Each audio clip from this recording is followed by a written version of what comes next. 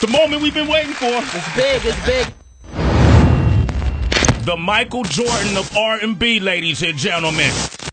R&B is not something that anybody can do. Ladies and gentlemen, welcome for the first time.